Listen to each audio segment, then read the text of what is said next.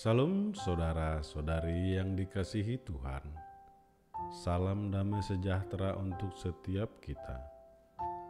Marilah kita mempersiapkan hati dan pikiran kita untuk mendengarkan sabda Tuhan pada hari ini.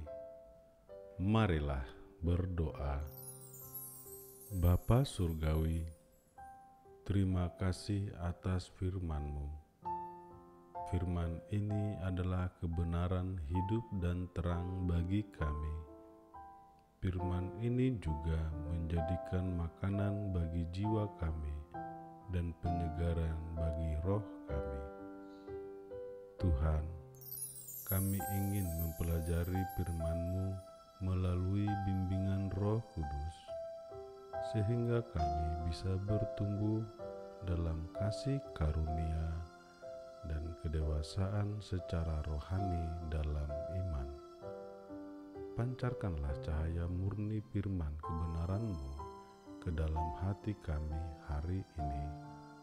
Buka mata dan pikiran kami untuk memahami inti kebenaran yang terkandung di dalam kitab suci yang sangat berharga ini.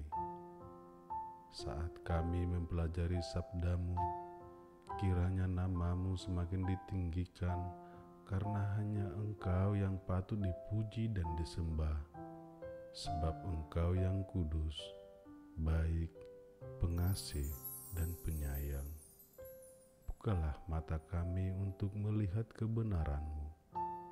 Bukalah telinga kami untuk mendengar suaramu Bukalah hati kami untuk menerima apa yang Engkau miliki bagi kami masing-masing. Bukalah bibir kami untuk hanya mengucapkan apa yang mulia untuk namamu. Dalam nama Yesus kami berdoa. Amin.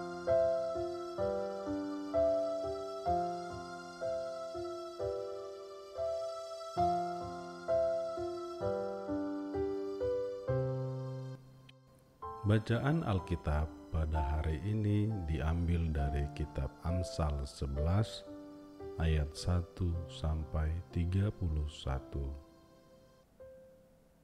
Neraca serong adalah kekejian bagi Tuhan.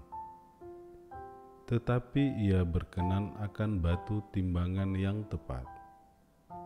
Jikalau keangkuhan tiba, tiba juga cemooh tetapi hikmat ada pada orang yang rendah hati.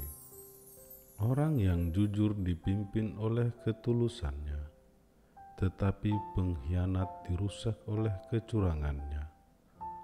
Pada hari kemurkaan, harta tidak berguna, tetapi kebenaran melepaskan orang dari maut.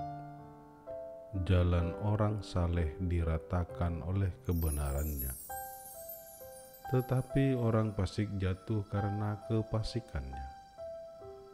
Orang yang jujur dilepaskan oleh kebenarannya, tetapi pengkhianat tertangkap oleh hawa nafsunya.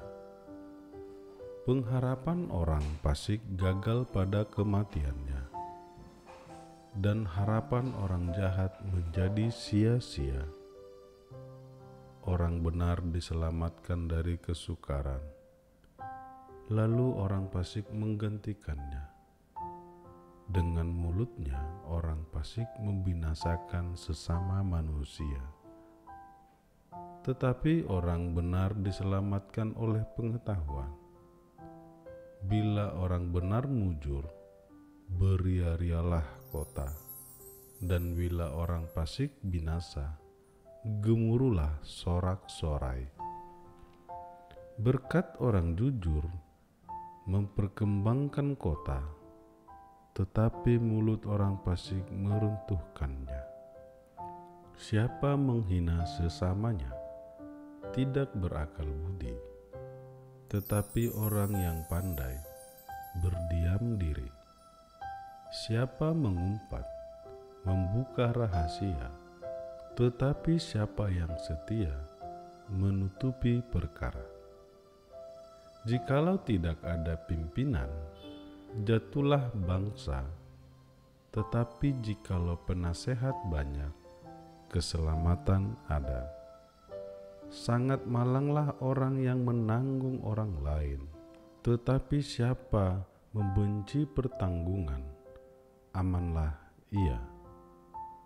Perempuan yang baik hati beroleh hormat, sedangkan seorang penindas beroleh kekayaan. Orang yang murah hati berbuat baik kepada diri sendiri, tetapi orang yang kejam menyiksa badannya sendiri. Orang fasik membuat laba yang sia-sia, tetapi siapa menabur kebenaran mendapat pahala yang tetap. Siapa berpegang pada kebenaran yang sejati menuju hidup tetapi siapa mengejar kejahatan menuju kematian.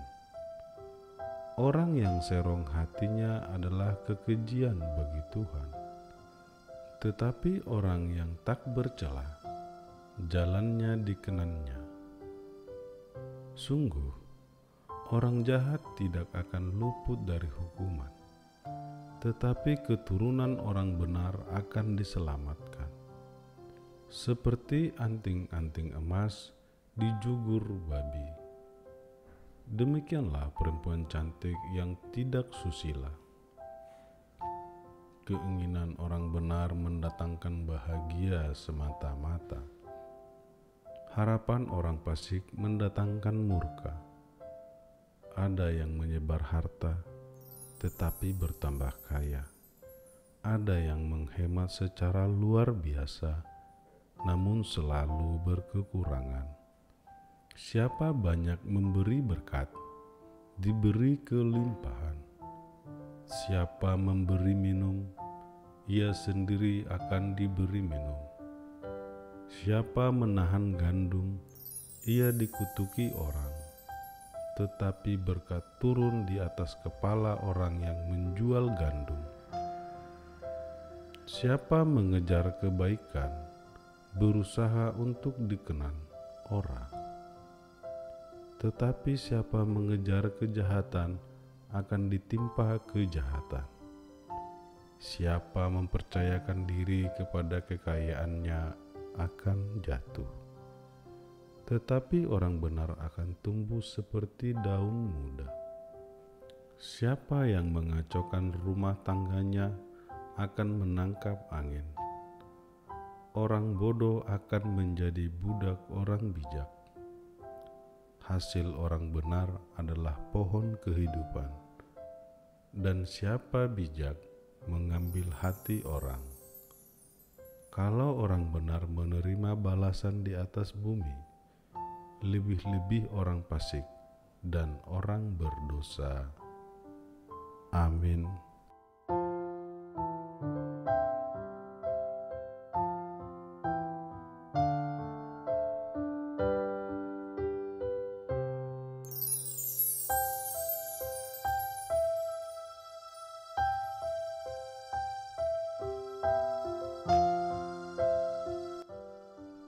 Kasih saudara-saudari sekalian yang telah mendengarkan firman Tuhan saat ini.